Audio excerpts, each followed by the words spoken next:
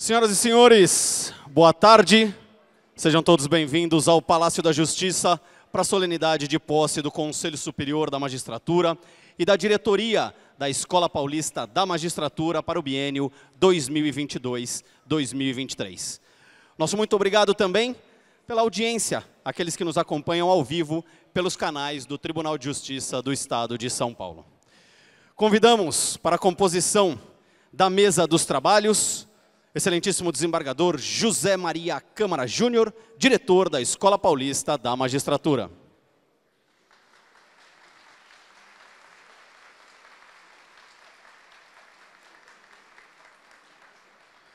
Desembargador Francisco José Galvão Bruno, presidente da seção de Direito Criminal do Tribunal de Justiça do Estado de São Paulo.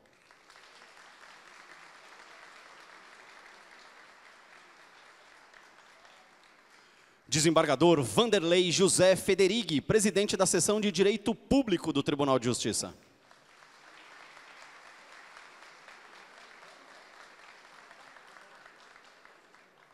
Desembargador Arthur César Beretta da Silveira, presidente da seção de Direito Privado do Tribunal de Justiça.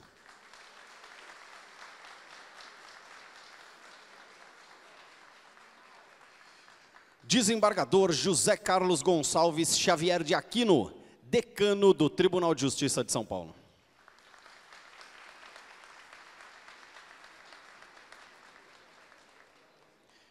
Excelentíssima doutora Patrícia Vanzolini, presidente da Ordem dos Advogados do Brasil, Seção São Paulo.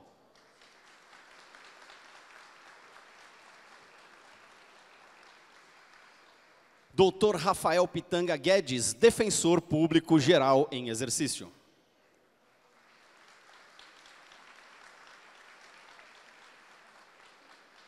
Doutor Wallace Paiva Martins Júnior, subprocurador-geral de Justiça, representando o Procurador-Geral de Justiça do Estado de São Paulo.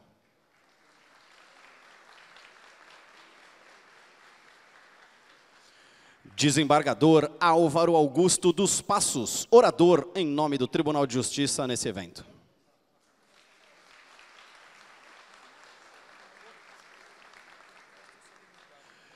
Vice-almirante Guilherme da Silva Costa, comandante do 8 Distrito Naval.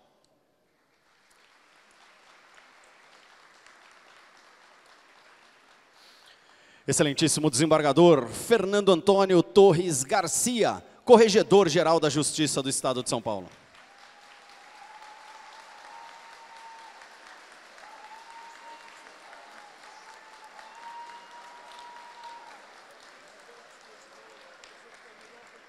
Excelentíssimo desembargador Guilherme Gonçalves Strenger, vice-presidente do Tribunal de Justiça do Estado de São Paulo.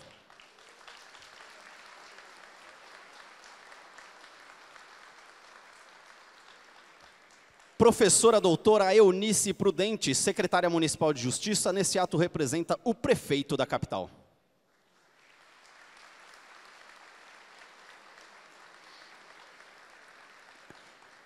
Doutor Fernando José da Costa, secretário de Estado da Justiça e Cidadania, representando também o governador.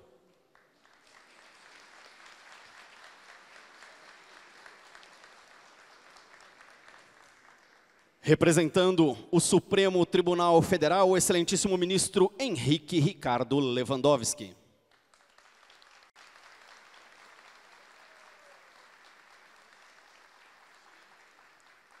Deputado estadual Carlão Pinhatari, presidente da Assembleia Legislativa do Estado de São Paulo.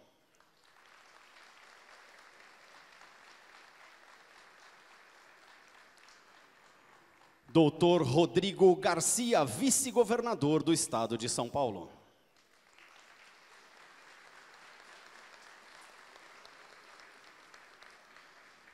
E o excelentíssimo desembargador Ricardo Maíra Anafi, presidente do Tribunal de Justiça do Estado de São Paulo.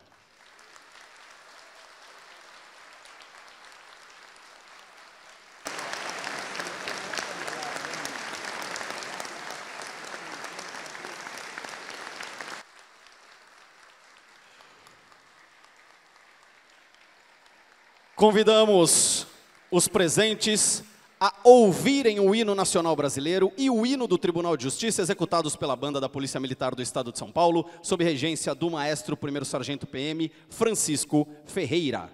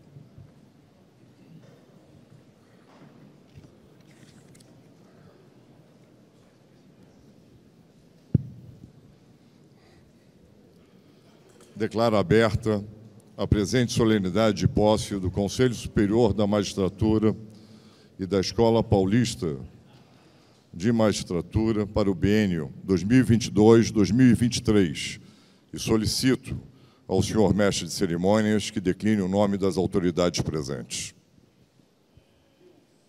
Som. Pedimos a todas as autoridades presentes que se sintam parte integrante da mesa principal. O brilho que os senhores emprestam a esse evento é uma honra para o Poder Judiciário Paulista.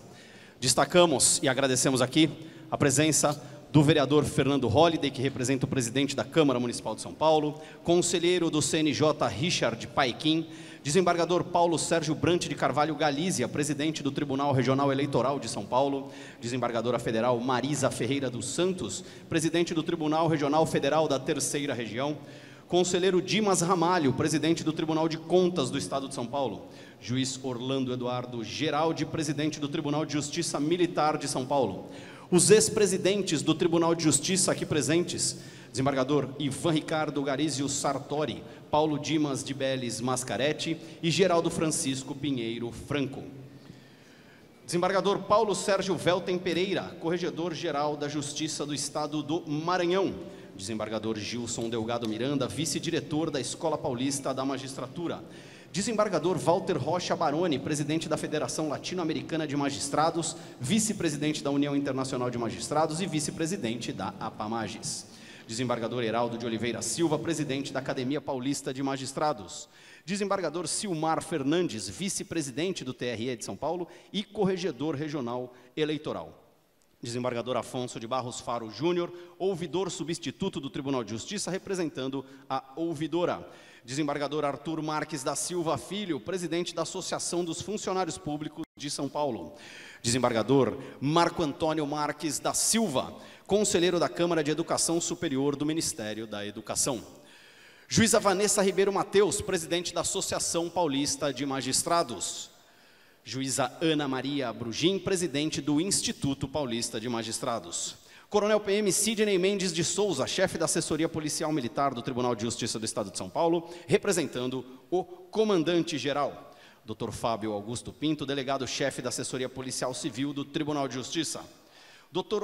Motauri Coquiete de Souza, corregedor-geral do Ministério Público de São Paulo. Juizênio Luiz Rosseto, corregedor-geral da Justiça Militar do Estado de São Paulo. Dr. Mário Luiz Oliveira da Costa, presidente da Associação dos Advogados de São Paulo. Dr. Guilherme Piscina, defensor público, diretor da Escola da Defensoria Pública do Estado de São Paulo. Dr. José Carlos Alves, presidente do Instituto de Estudos de Protestos de Títulos, Seção São Paulo, representando também o presidente da Anoreg São Paulo doutora Ana Paula Frontini, presidente do Colégio Notarial de São Paulo. Dr. Cláudio Marçal Freire, presidente da Associação dos Notários e Registradores do Brasil, Anoreg Brasil, e presidente do Sindicato dos Notários e Registradores do Estado de São Paulo. Doutora Daniela Silvia Mross, representando a presidente da Associação dos Registradores de Pessoas Naturais do Estado de São Paulo. Senhor Márcio Gustavo Bernardes Reis, prefeito de Jaguariúna. Dr. Carlos Antônio Luque, presidente da FIP.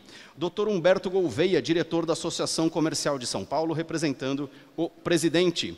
Dr. Henrique Ávila, conselheiro do Conselho Nacional de Proteção de Dados. Dr. Cássio Ramalho do Prado, presidente da Associação dos Oficiais de Justiça do Estado de São Paulo. Agradecemos também a presença de toda a diretoria da EPM, que toma posse no dia de hoje, e também a audiência virtual de todas as autoridades, em especial eh, representando o STJ, ministro Paulo Dias de Moura Ribeiro. Senhoras e senhores, teremos agora a assinatura no livro de posse do diretor da Escola Paulista da Magistratura, do vice-diretor e também dos membros do Conselho Superior da Magistratura. Convidamos para que venha aqui ao palco e assine como vice-diretor da EPM, excelentíssimo desembargador Gilson Delgado Miranda.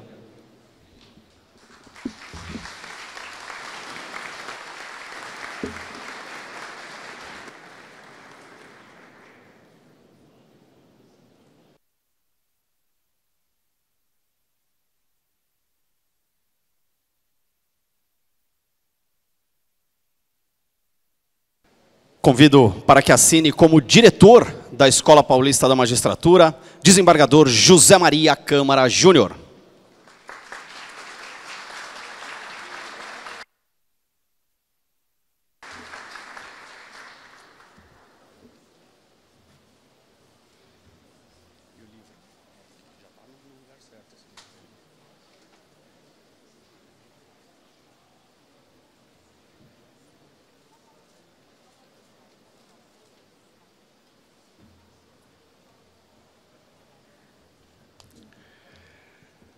Agora o livro de posse do Conselho Superior da Magistratura. Convidamos para que assine como presidente da seção de Direito Criminal, excelentíssimo desembargador Francisco José Galvão Bruno.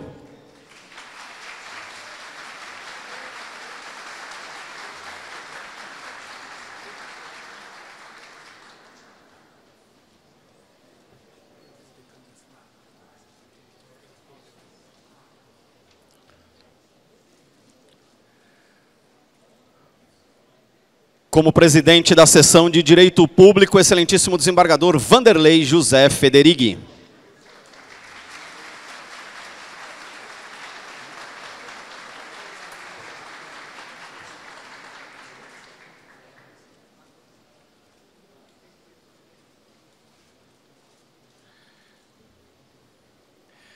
Como presidente da sessão de Direito Privado, excelentíssimo desembargador Arthur César Beretta da Silveira.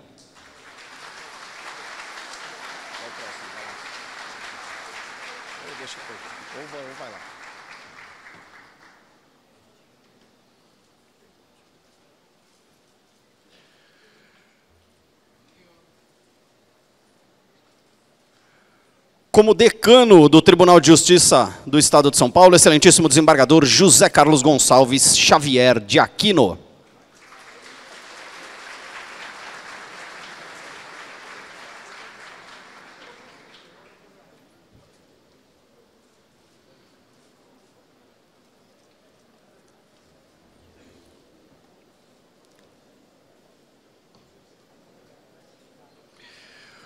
Como Corregedor-Geral da Justiça do Estado de São Paulo, o excelentíssimo desembargador Fernando Antônio Torres Garcia.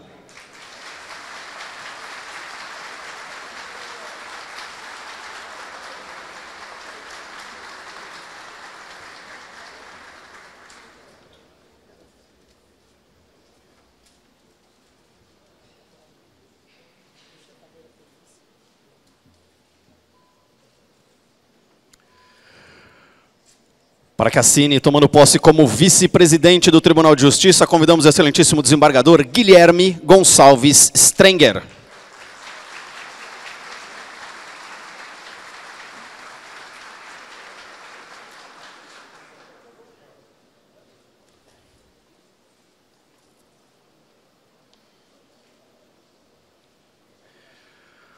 Para que assine o livro de posse como presidente do Tribunal de Justiça do Estado de São Paulo, excelentíssimo desembargador Ricardo Mair Anafi.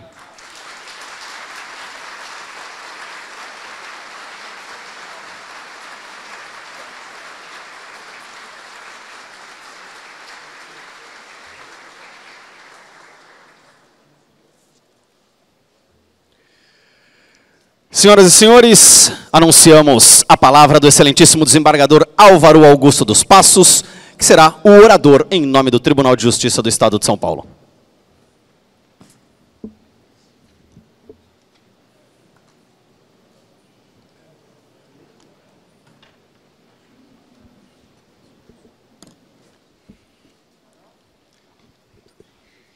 Excelentíssimo senhor Rodrigo Garcia, vice-presidente, perdão, vice-governador do Estado de São Paulo, na pessoa de quem peço vênia para cumprimentar todas as demais autoridades e personalidades já nominadas e homenageadas pelo cerimonial.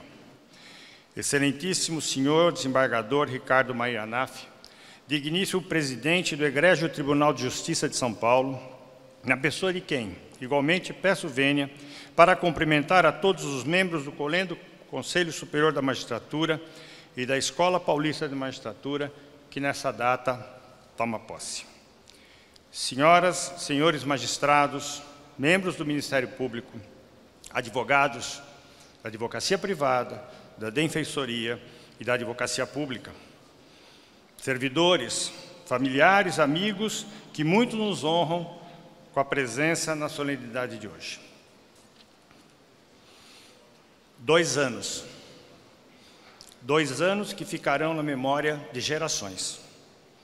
Dois anos quando os nossos sorrisos estiveram escondidos pelas máscaras ou abafados pela dor da perda.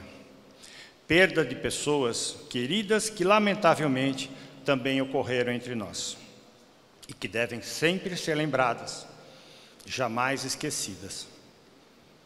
Senhor presidente, há exatos dois anos, nos deparamos com o início daquilo que ficou conhecido como a pandemia da Covid-19. A última vez que o pleno desta corte teve a oportunidade de se reunir foi quando da posse do, ex-Conselho Superior da Magistratura, sob a presidência do desembargador Geraldo Pinheiro Franco, no início dos anos 20.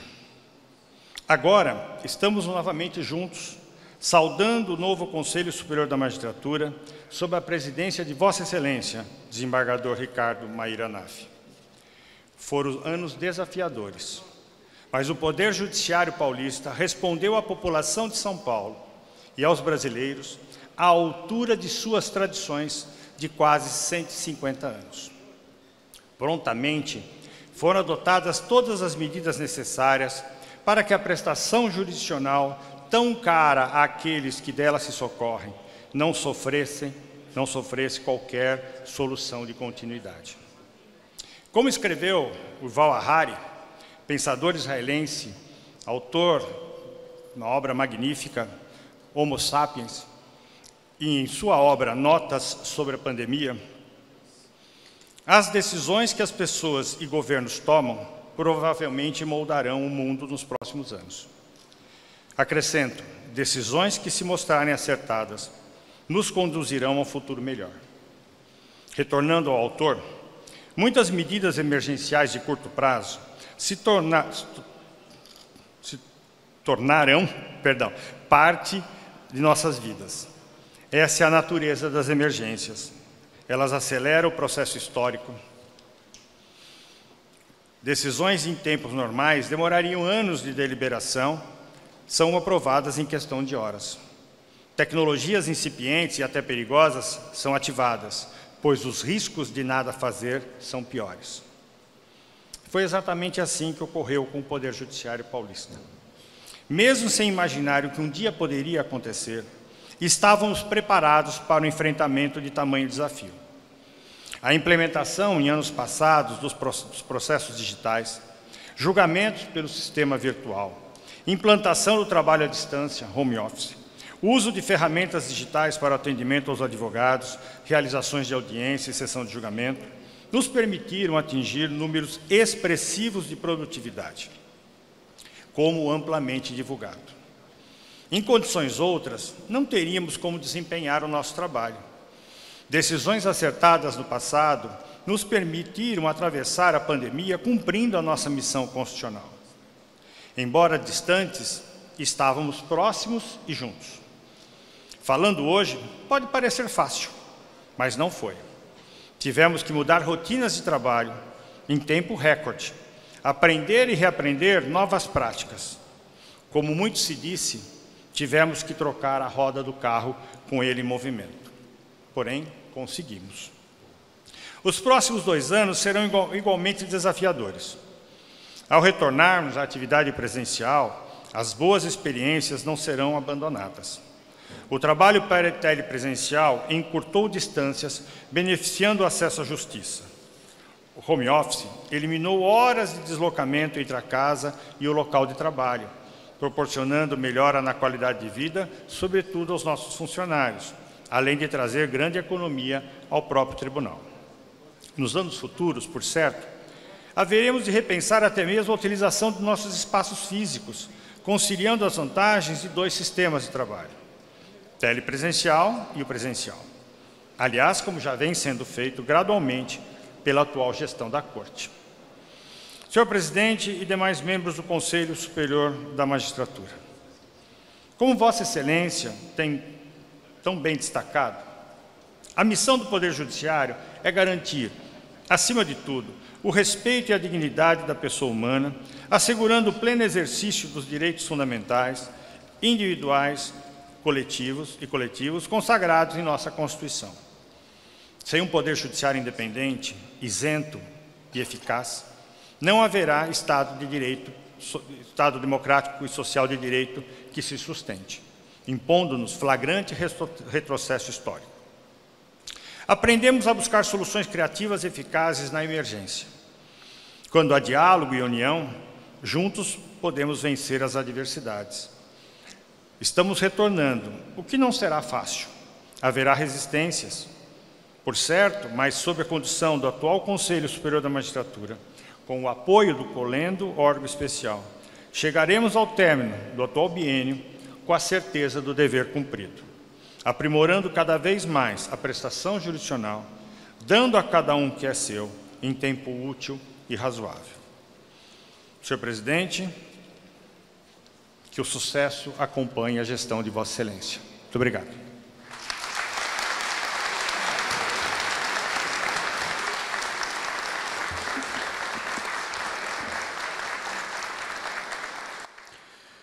Com grande honra que anunciamos a palavra do vice-governador do Estado de São Paulo, doutor Rodrigo Garcia.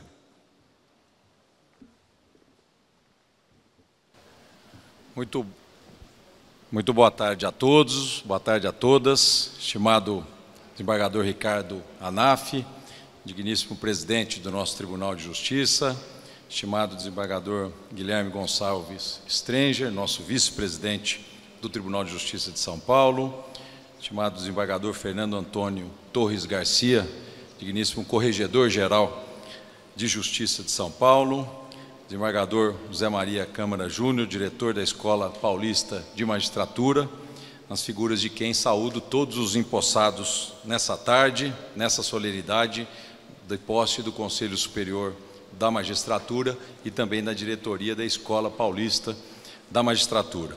Estimado deputado estadual Carlão Pignatário, nosso presidente da Assembleia Legislativa, a quem, em nome do governo de São Paulo, eu agradeço a parceria e a atenção do Poder Legislativo de São Paulo para com as ações aqui do governo e também de combate à pandemia.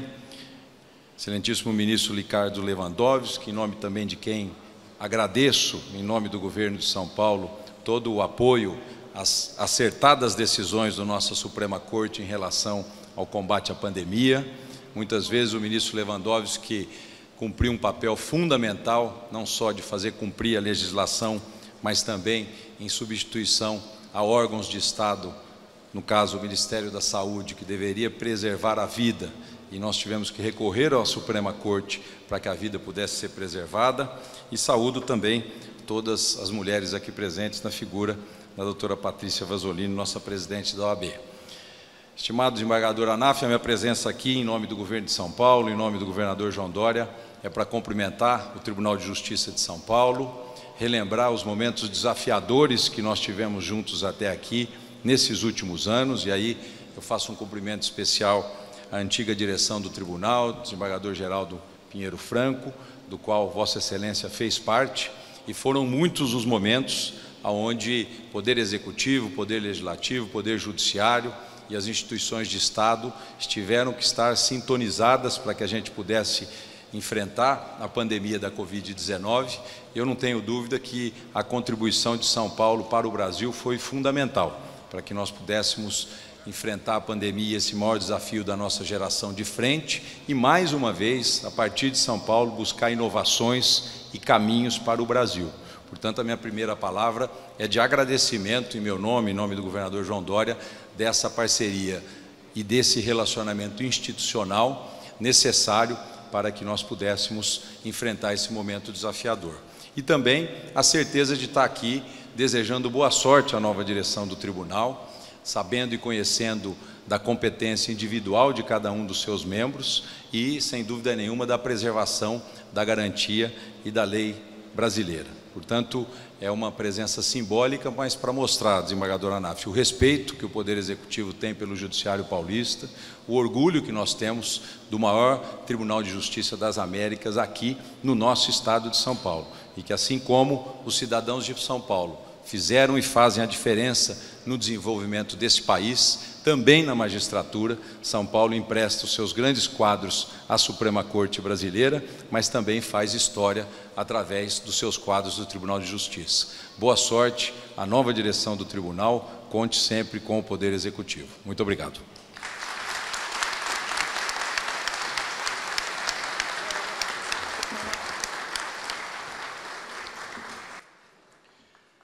Infelizmente, por um problema de agenda, vice-governador Rodrigo Garcia não poderá acompanhar o término da solenidade. Mais uma vez, agradecemos, vice-governador, pela presença.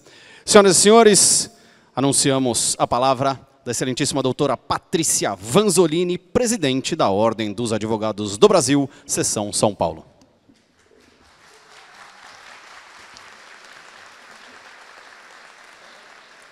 Boa tarde a todas e todos. Eu cumprimento e saúdo a todos na pessoa do desembargador presidente Ricardo Anaf, é, a quem cumprimento carinhosamente, porque mesmo antes de assumir o meu cargo, já me recebeu, demonstrando que OAB e Tribunal de Justiça têm portas abertas uns para os outros. Cumprimento na pessoa do desembargador Anaf a todas as autoridades aqui presentes e já citadas pelo cerimonial. Uh, me permito não nomeá-las, porque certamente esqueceria alguém importante. Cumprimento também a todos os presentes, a todos os serventuários da Justiça, ao Ministério Público, à Defensoria, ao Governo do Estado de São Paulo. Uh, disse que na noite escura as estrelas brilham com maior intensidade. E ainda vivemos uma noite escura. Vivemos a maior crise sanitária dos últimos 100 anos. E apesar dela aparentemente estar diminuindo, e os primeiros raios de sol já se fazem ver, a situação ainda é grave. Vivemos uma crise econômica e a miséria bate à nossa porta, literalmente. Basta sair do prédio do Tribunal de Justiça ou da OAB para vê-lo. Vivemos uma crise política e institucional com grandes e graves turbulências a miúde. Vivemos uma crise também, muitas vezes, da própria justiça, que é vítima de ataques indevidos de setores da sociedade que fazem críticas muitas vezes desarrazoadas e passando as raias da ofensa e da ameaça a todo o sistema de justiça. E nessa noite escura, que a advocacia pública e privada, o Ministério Público e a magistratura possam ser aliados, três estrelas brilhantes que iluminem o céu do Brasil que estejamos juntos, e eu aqui me comprometo, em nome da Ordem dos Advogados do Brasil, Seção de São Paulo, a estar junto com magistratura e Ministério Público na defesa intransigente da democracia e do Estado de Direito. Divergências entre nós haverá, mas o que nos une é muito mais importante do que o que nos separa. Até porque todos nós viemos dos mesmos bancos escolares, das faculdades de direito. E todos nós, tenho certeza, guardamos no peito a pureza do estudante de direito que devota sua vida à Constituição, à lei, ao Estado de Direito e à democracia. A vida pode ter nos encaminhado para carreiras ou profissões diferentes. Mas no fundo queremos a mesma coisa: justiça, paz social, tempos melhores para todos os brasileiros. Portanto, contem com a OAB para estar como aliada nessa trincheira fechada em defesa da democracia. Contem também com a OAB para que construamos juntos esse novo normal de depois da pandemia. E que todas as considerações a respeito de como será esse novo mundo, audiências telepresenciais ou presenciais, trabalho remoto ou presencial, todas as decisões devem contar com os três grandes atores do sistema de justiça: a magistratura, o Ministério Público e a advocacia. Porque são três pernas de um mesmo tripé e nenhuma é menor ou maior do que a outra. E para que tudo funcione, é preciso que as três possam atuar com liberdade e com condições de trabalho. Então, também contem conosco da OAB para a discussão e para a construção desse novo mundo, que ainda não sabemos bem qual é, mas certamente terá que ser melhor do que aquele que abandonamos. Por fim, eu quero aí, em caráter pessoal, dizer que eu, como primeira mulher a presidir a OAB, em 90 anos, também coloco aqui à disposição do sistema de justiça a força das mulheres, a competência das mulheres, a ternura das mulheres, sem perder a firmeza, a combatividade das mulheres, mas sempre com espírito de conciliação. E toda a força que nós já provamos e demonstramos ter ao longo das nossas carreiras e que eu possa então agregar um olhar mais humano, mais empático, mais terno, mais doce ao nosso sistema de justiça, que é, ademais, um substantivo feminino e tem nome de mulher. Muito obrigada.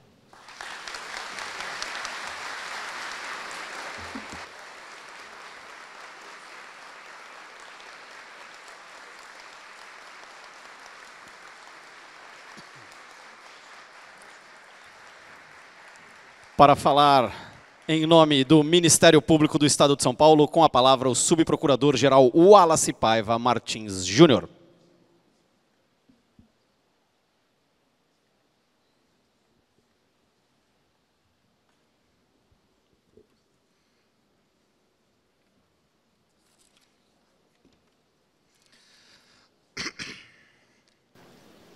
Excelentíssimo senhor desembargador Ricardo Maia ANAF, presidente do Tribunal de Justiça, excelentíssimo senhor deputado Carlão Pinhatari, presidente da Assembleia, excelentíssimo senhor ministro Henrique Ricardo Lewandowski, do Supremo Tribunal Federal, excelentíssimo senhor doutor Fernando Jada Costa, secretário de Justiça e Cidadania, excelentíssima senhora Eunice Prudente, secretária municipal de Justiça, excelentíssimo senhor corregedor-geral Dr. Fernando Torres Garcia, excelentíssimo senhor vice-almirante Guilherme da Silva Costa, excelentíssimo senhor doutor Rafael Pitanga Guedes, defensor público geral exercício, excelentíssima doutora Patrícia Vanzolini, que me emocionou, digna presidente da ordem, excelentíssimo senhor decano, desembargador Xavier de Aquino, excelentíssimos senhores desembargadores Beneta da Silveira, Vanderlei José Frederic, Francisco José Galvão Bruno, José Maria Câmara e Dr. Guilherme Stranger, que eu havia pulado por engano. Desembargador Geraldo Pinheiro Franco. Senhores e senhoras, advogados, magistrados, membros do Ministério Público, aqui o nosso corregedor geral, serventuários da Justiça, distinto público. É uma elevada honra, senhor presidente, estar aqui agora representando o Ministério Público de São Paulo na cerimônia de posse do Egrégio Conselho Superior e da, da direção da escola. Pontes de Miranda já assinalava que um povo vale a justiça que tem, a independência que dá a essa justiça. Em tempos acres e nebulosos como o que vivemos, em que a violência tomou espaço do diálogo e do respeito, e muitos renegam o céu por ser escuro e vão ao inferno à procura de luz, é absolutamente imprescindível a crença na justiça como ideal supremo do ser humano e a confiança no poder judiciário e em seus magistrados, porque lhes compete aplicar o direito como fio condutor da justiça. Em 1988, nossos pais fundadores expressaram na Constituição a vontade soberana do povo e da nação pela construção de um Estado democrático de direito. É dever subjetivo público de todos nós edificar aquele projeto, reafirmando seus valores essenciais e fustigando energicamente as tentações de restauração de expedientes próprios às trevas do ancião regime. A democracia não é um produto novo, pronto e acabado. É um sistema que se constrói e se renova, provando sua eficiência, inclusive nos momentos de crise. Conflitos devem ser tratados de acordo com a democracia, dentro da democracia, fora dela jamais, e com a observância das regras do jogo próprias do ambiente aberto e plural dispostas na Constituição. Ou seja, dentro da Constituição, à margem dela ou contra ela, jamais.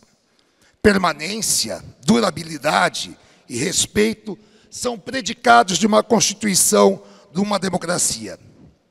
Governos devem se adaptar a ela. No entanto, como dizia o professor Adilson Abreu Dalari, no Brasil, o que se observa é que cada governo, em vez de amoldar-se à Constituição, procura amoldá-la a seus objetivos. Da atuação séria, imparcial e isenta de instituições, como o Ministério Público, o Poder Judiciário, a advocacia, a defensoria, que são organismos de Estado e não de governo, dependem a democracia e a Constituição, obrigado, para fazer cessar a séria e grave advertência de Sérgio Buarque de Holanda. As constituições feitas para não serem cumpridas, as leis existentes para serem violadas, tudo em proveito de indivíduos e oligarquias são o fenômeno recorrente da América do Sul. Desculpem. Dependendo da democracia e a justiça de instituições fortes e independentes, ancilares à lei e ao direito, nutro a certeza política, assim como o moleiro prussiano, da segurança fornecida pelo Tribunal de Justiça. Há juízes no estado de São Paulo Trata-se do maior tribunal das Américas, com magistrados e servidores exemplares, probos, eficientes, que não medem esforços em atender a população tão carente de tantos bens, notadamente de justiça. Chama a atenção ao compromisso do Ministério Público em levar a essa corte pautas decorrentes de sua função institucional, a luta contra a criminalidade, a desigualdade, a improbidade, a arbitrariedade e a exclusão. Desejo a vossas excelências, que agora ocupam os mais elevados assentos na condução da justiça bandeirante, uma profícua gestão, colocando o parquê paulista à disposição para o cumprimento de nossas metas institucionais comuns. Peço licença para em especial saudar Vossa Excelência, digno presidente, um justice extremamente vocacionado, portador de sensibilidade e notável conhecimento jurídico. Encerro renovando meu credo no Poder Judiciário, valendo-se da sentença do ilustre advogado Heráclito Sobral Pinto. Justiça não se mendiga, pede-se, não se implora, reclama-se, exige-se, não se agradece, aceita-se. Muito obrigado.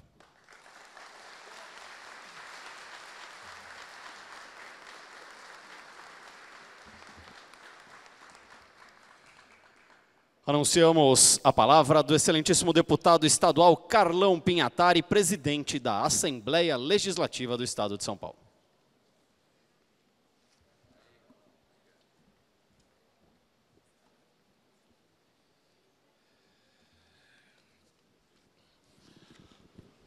Boa tarde, boa tarde a todos. É um prazer enorme hoje aqui no Tribunal de Justiça cumprimentar o desembargador Ricardo Maíra Naf, presidente do Tribunal de Justiça do Estado de São Paulo, o maior tribunal que nós temos no Brasil e um dos mais antigos poder de justiça do nosso país. Comentar o excelentíssimo senhor ministro Ricardo Lewandowski, ministro do Supremo Tribunal Federal, cumprimentar o desembargador Dr. Guilherme Gonçalves Strenger, vice-presidente do Tribunal de Justiça de São Paulo, desembargador Dr. Fernando Antônio Torres Garcia, corregedor-geral de Justiça de São Paulo, cumprimentar o desembargador José Maria Câmara Júnior, diretor da Escola Paulista de Magistratura, cumprimentar os nossos desembargadores, ex-presidente do Tribunal de Justiça, doutor Geraldo Pinheiro Franco, doutor Paulo Dimas Mascaretti, doutor Ivan Sartori, cumprimentar o doutor Paulo Galícia, presidente do Tribunal Regional Eleitoral de São Paulo, doutora Marisa, desembargadora federal, presidente do Tribunal Regional Federal da Terceira Região, doutor Dimas Ramalho, presidente do Tribunal de Contas do nosso Estado, Wallace Paiva Martins, subprocurador de Justiça, Rafael Pictanga, eh, defensor público geral em exercício, a doutora Patrícia Vanzolini, presidente da Ordem dos Advogados do Brasil, da seção São Paulo, os membros do Conselho Superior da Magistratura, o representante do Poder Judiciário, do Ministério Público, amigos, familiares dos empossados, senhoras e senhores, dizer que hoje é um dia muito iluminado no Estado de São Paulo, quando nós temos a posse dos desembargadores que conduzirão pelos próximos dois anos a justiça, a maior justiça do Brasil, a justiça paulista, nesse egrégio Tribunal de Justiça de São Paulo. Muito mais uma palavra de gratidão da Assembleia Legislativa de São Paulo pelos grandes eh, temas que nós debatemos juntos, né, junto ao Parlamento de São Paulo, ao Governo de São Paulo, onde hoje representado aqui pelo, pelo vice-governador Rodrigo Garcia, mas quero me colocar sempre muito à disposição para que a gente possa juntos cada vez mais conduzir. Nesses últimos dois anos, com muita dificuldade, todos nós fizemos um novo momento na nossa vida, né? uma vida de uma pandemia sem precedente. Quem, nesse lugar onde nós estamos, imaginava que a gente poderia ter, no século 21, uma pandemia do tamanho que nós tivemos nesses dois últimos anos. Com muito sofrimento, com muitas perdas em cada uma das nossas famílias, mas que com certeza nós conseguimos juntos superar e fazer com que eh, a justiça continuasse funcionando, que o governo, o executivo continuasse funcionando, que o legislativo continuasse funcionando. Da dificuldade, nós conseguimos fazer uma facilidade que foi a informatização. Né? A tecnologia de informação foi um grande suporte para todos nós, que fizemos mudanças homéricas nas nossas vidas, mas podem ter certeza que trabalhamos e trabalhamos muito mais. Né? Ah, eu, acho, eu penso que todos nós conseguimos sair desses anos difíceis. E que esses próximos dois anos, doutor Ricardo, o senhor e o conselho diretor, na posse aqui do, do Conselho Superior da Magistratura e da diretoria da Escola Paulista de Magistratura, vocês estão, têm nenhuma dúvida que vai ser uma grande condução e muito mais fácil, eu espero que seja muito mais fácil esses próximos dois anos que nós temos pela frente. Muito obrigado e uma boa tarde a todos.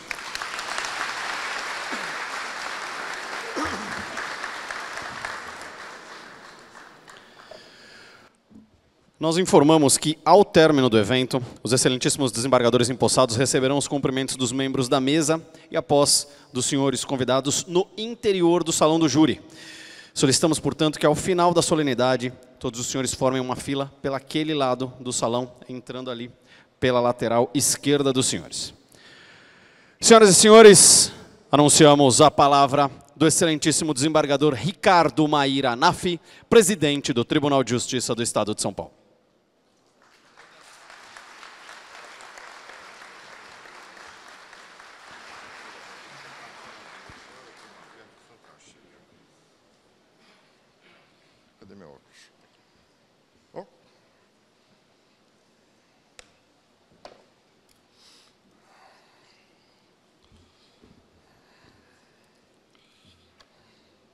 Excelentíssimo senhor deputado Carlão Pinhatari, presidente da Assembleia Legislativa do Estado de São Paulo, na pessoa de quem cumprimento to todas as autoridades do Poder Legislativo Estadual. Excelentíssimo senhor ministro Ricardo, Henrique Ricardo Lewandowski, do Supremo Tribunal Federal, é uma honra sempre recebê-lo e a casa, o senhor bem sabe, é vossa também. Excelentíssimo senhor Fernando José da Costa, secretário da Justiça e representante do governador do Estado de São Paulo, em vosso nome, cumprimento todas as autoridades do Poder Executivo. Excelentíssimo senhor vice-presidente do Tribunal de Justiça do Estado de São Paulo, Guilherme Gonçalves Strenga. Excelentíssimo senhor Fernando Antônio Torres Garcia, corregedor-geral da Justiça do Estado de São Paulo. Excelentíssimo senhor Guilherme da Silva Costa, comandante do 8 Distrito Naval, vice-almirante, com nosso respeito e a nossa admiração, eu, em seu nome eu cumprimento todas as autoridades militares do Estado de São Paulo. Todas as autoridades militares presentes, desculpe. Senhora Eunice Prudente, doutora Eunice Prudente, secretária da Justiça, representando o senhor prefeito de São Paulo, em vosso nome, eu cumprimento todas as autoridades municipais aqui presentes. Excelentíssimo senhor Paulo Sérgio Brante Carvalho Galizia, presidente do Tribunal Regional Eleitoral. Excelentíssima senhora Marisa Ferreira dos Santos, presidente do Tribunal Regional Federal da Terceira Região. Excelentíssimo senhor doutor Dimas Ramalho, presidente do Tribunal de Contas do Estado de São Paulo. Excelentíssimo senhor Orlando Eduardo Geraldo, presidente do Tribunal de Justiça Militar do Estado de São Paulo. Meu querido amigo Álvaro Augusto dos Passos, que foi orador do Tribunal de Justiça do Estado de São Paulo, os meus sinceros cumprimentos e as minhas palavras de reconhecimento por vossa oração.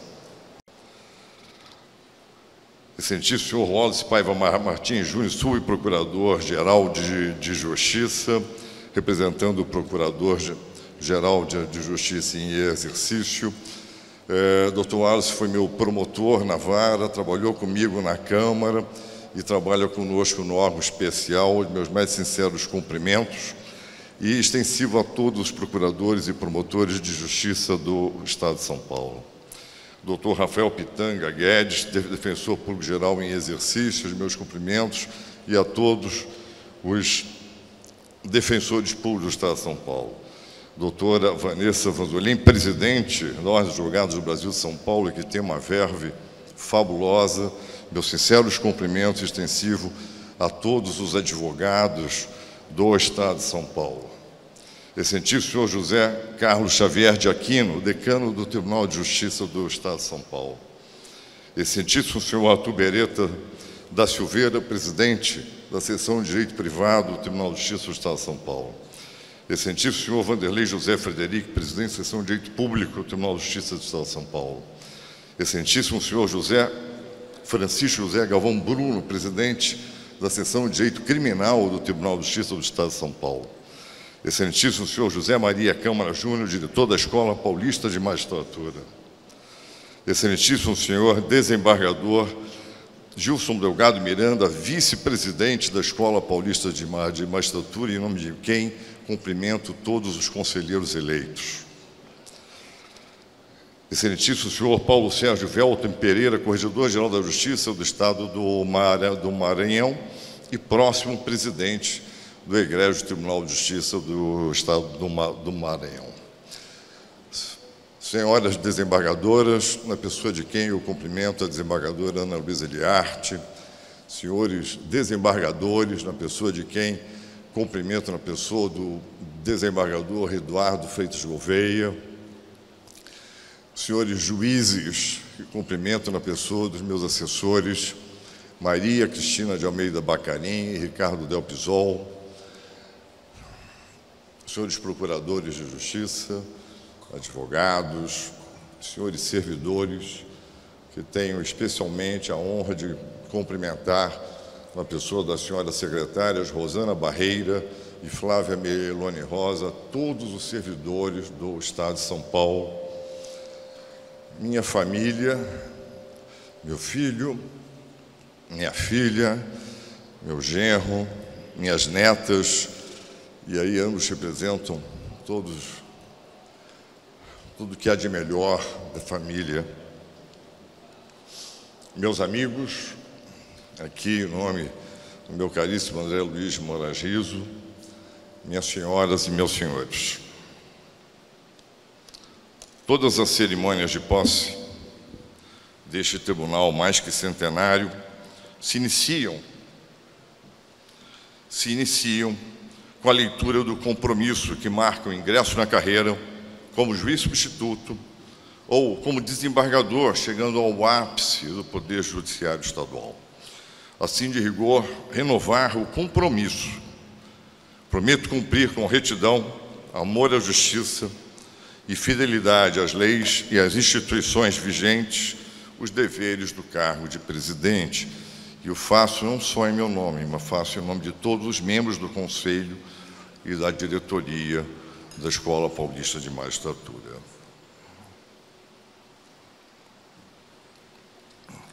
A eleição e assunção ao cargo de presidente, por generosidade dos meus pares, é motivo de imensa alegria, de contentamento pela realização máxima profissional, que reclama não apenas dedicação, seriedade, equilíbrio e ética que todos nós empenhamos diuturnamente.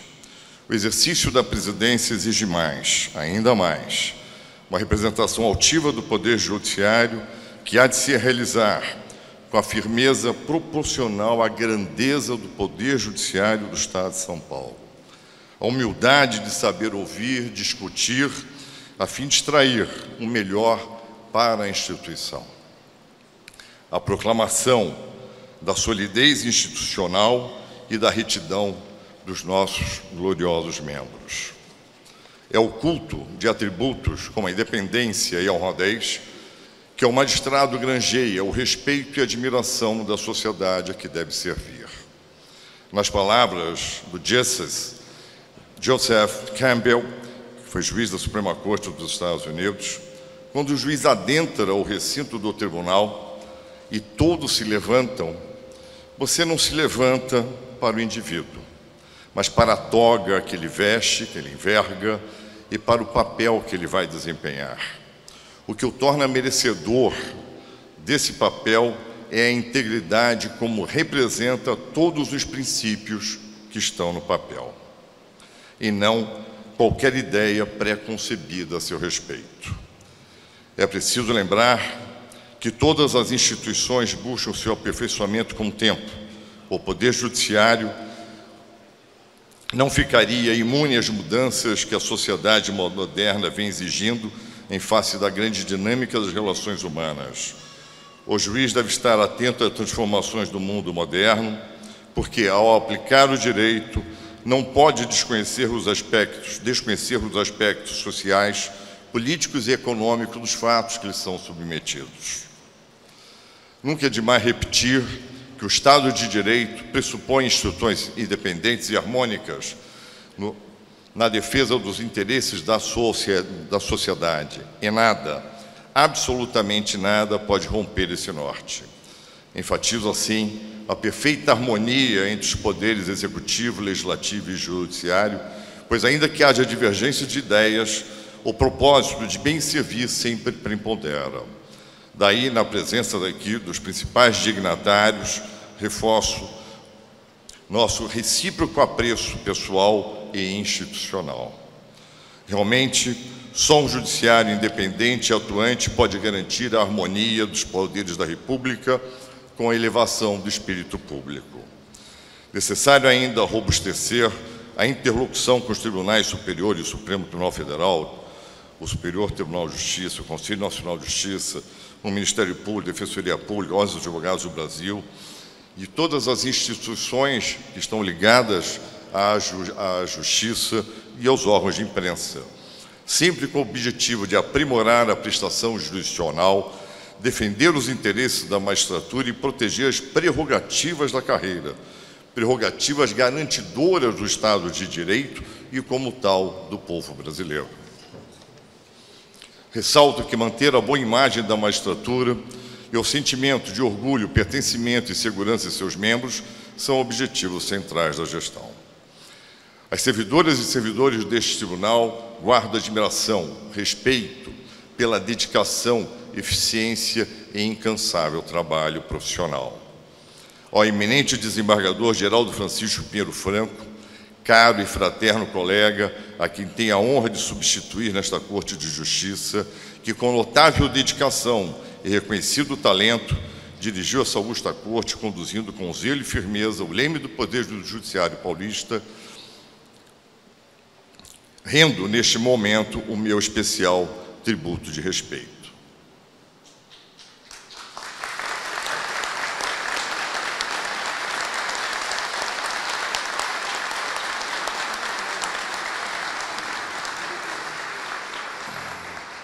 A crise derivada da pandemia da Covid-19, que infelizmente marcou o biênio 2020-2021, exigiu repensar, repensar profundo das regras e práticas tradicionais a fim de conciliar a continuidade eficiente da prestação de serviços judiciais e extrajudiciais com a, com a preservação da saúde de todos os envolvidos, juízes, servidores e usuários. Desse trabalho, em princípio, em princípio desenvolvido para fazer frente a uma situação emergencial, restaram frutos definitivos para o Tribunal de Justiça, como já foi proclamado por outros oradores.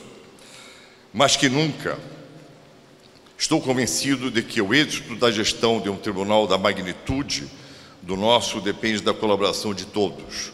Espero, portanto, poder contribuir para que se estabeleça um clima de permanente diálogo e harmonia entre desembargadores, juízes, servidores e todas as instituições afins. Somente com a valiosa cooperação de todos poderemos alcançar o objetivo comum de melhor atender o povo de São Paulo. Ofereço, por fim, minha experiência, energia, prometendo integral dedicação aos interesses do Tribunal de Justiça, sempre de portas abertas a todos às autoridades presentes, aos amigos, familiares e a todos que bondosamente aqui compareceram, externo meu reconhecimento e meu profundo agradecimento. Também àqueles a quem tudo devo, porque neste momento meu pensamento se volta para o passado, a quem dirijo minha prece impregnada de agradecimento e comovido pela saudade. Minhas senhoras e meus senhores, declaro encerrada a sessão de posse. Muitíssimo obrigado a todos. O meu abraço fraterno a todos. Muito obrigado.